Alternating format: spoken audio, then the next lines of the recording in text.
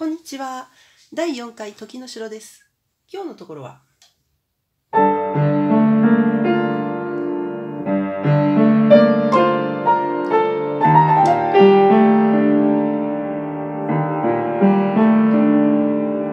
この部分をやりたいと思います。それでは、まず右手ですが、ラとラ、前回、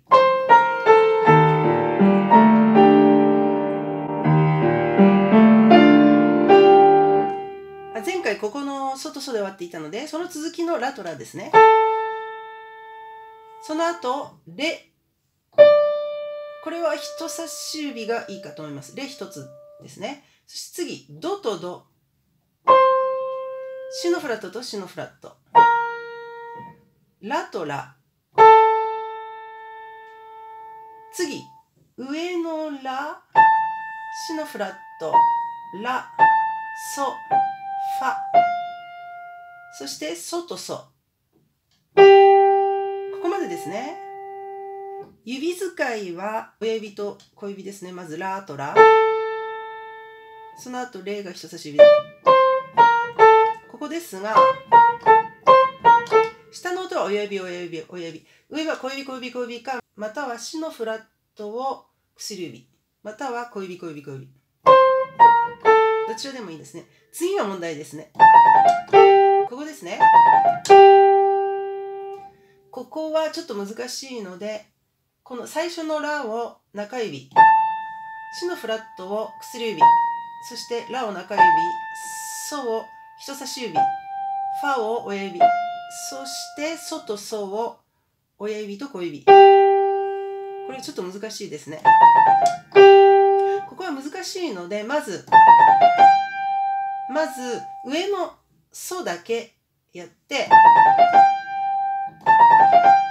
で、左手と簡単に合うようになったら、このソが2個あるから難しいんですね、ここ。ですね。まずこれだけの練習をしていただいて、これだけの練習。それと、まず左手と合わせるときは、まずこれだけで、で、簡単に合うようになったら、でやってみたらいかがでしょうか。さあ、次、左手ですが、えっ、と、前回、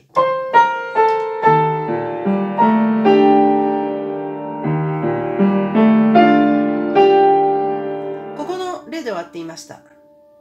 では、今日は、ソですから、えっと、終わっていた例が真ん中のドのすぐ近くだったから、そこから1オクターブ降りて、そこからさらにドシラソ、ここですね。を小指、レ、人差し指、ラ、親指、シのフラット、人差し指、ファ、親指。今のをもう一度、全く同じものをもう一度、ソ、レ、ラ、シのフラット、ファ。次、また、えっ、と、同じものを2回で、新しい同じものを2回ですが、ミのフラット、小指、シのフラット、人差し指、ソ、親指、ラ、人差し指、レ、親指。これをもう一度、ミのフラット、シのフラット、ソ、ラ、レ。今日はここまでです。ではもう一度左手。ソ、レ、ラ、シのフラット、ファ。一度。今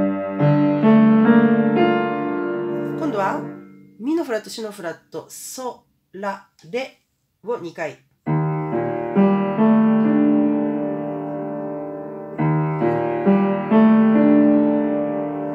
では、両手ですが、左手のソと右手のラとラを同時に。あとは左手だけレ、ラ、シのフラット、ファ。さらにもう少し左手だけ、ソ、レ、ラ。そしてシのフラットに行くときに右手のレと同時。次、左手がファに行くときに右手のドとドを同時。次、右手だけがシのフラット、シのフラット、ラとラ。次ですが、5連符になっていて、1、2、3、4、5。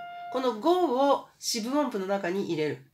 だけどこっちはではなくて2分音符になあ四分音符ではなくて8分音符になってるのでこっちが2でこっちが5ですね。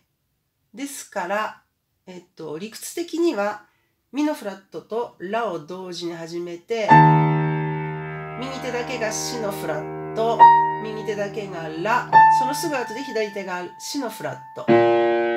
その後で右手がソファ。そして次ソとソとソを同時ですね。あとは左手だけです。ラレもう一度左手だけミのフラット。シのフラット。ソラレまでですね。この、ここですね。ここはあの理屈的にはラシラ左手ソファになってるんですが、ゆっくり、まあ、ゆっくり練習していただいて、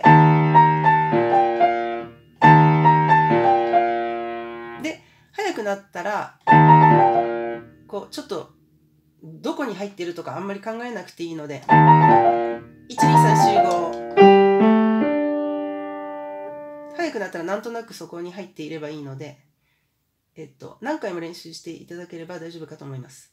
ではもう一度両手。まず同時。左手だけ。そして今同時。シュのフラットとレ同時。ファットドとド同時。右手だけシュのフラット。ラ。同時5連符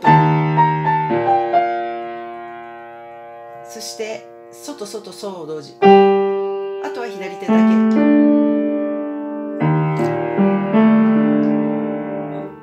というところですねでは少し前からやってみます第3回のところから